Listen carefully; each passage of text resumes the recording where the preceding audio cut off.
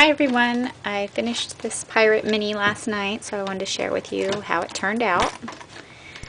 Um, for the cover, I glued on this uh, pirate flag wood piece. And then down here for the title, I downloaded a font off the internet. It was a pirate font. And then I printed it out on some uh, tan colored cardstock. And then I ripped it out along the edges and then inked it with black ink. And then I crumbled it up to make it look like it was old and weathered. If you can see that. Then down along the bottom I um, glued some sand along here. I'm going to add more. There's places that it's not so so much sand, so I want to add some more. And then over here on the binding I attached this uh, pirate sword charm. And then inside the binding is, um, this was the invitation for the party uh, that I had made. I did the same thing. I um, ripped the edges and inked the edges and then crumbled it up to make it look old. But originally they were in these uh, plastic, these are, this was a soda bottle that I put sand and some shells in, and then the invitation was inside, and that's how they were delivered to everybody. But obviously I can't put this inside of a mini, so I just took out the invitation part, and it's going to be stored inside the binding so that it's together with the book. And for the first page, I made a pocket, then added some stickers, and then there's two pieces inside the pocket, uh, this one says the Pirate Code of Captain Jack, and then this one says Pirates Beware. They're like old sign. I glimmer misted them with gold, which you won't be able to see. But they're kind of shimmery. And then on the back side are pictures and then epoxy stickers. And this just go in the pocket. For this page, I just put a picture and then added some more epoxy stickers.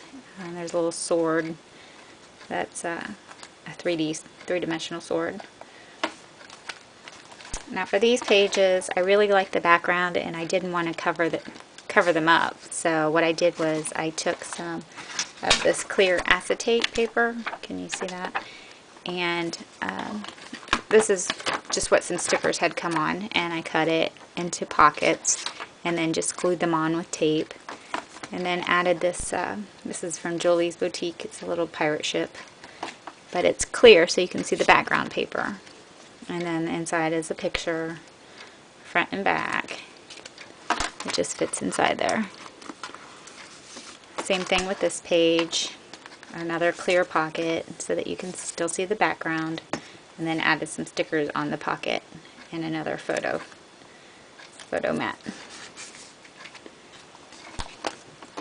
Uh, this one I embossed the, these shells on with some gold embossing powder. And then inside are two pictures. This was the cake I had made. It's a treasure chest cake and it had gold coins and candy necklaces and some beaded necklaces coming out of it. And then my son with his cake. And I left the, the backs of these blank. I'm going to add white paper so I can journal on them.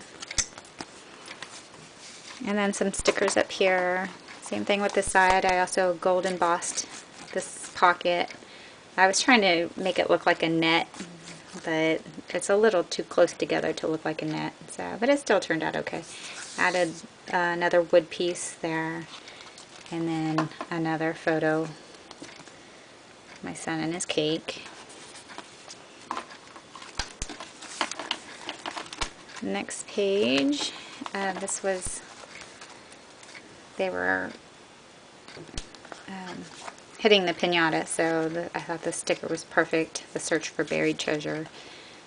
Uh, I added some gold rickrack along the edges, cut the pocket along the, the edge with the, uh, the deco scissors, and then inside a picture front and back. Same with this side. This one's a rub-on, epoxy stickers, and then this has them picking up the pieces that had fallen, the candy. This one I left blank to journal on.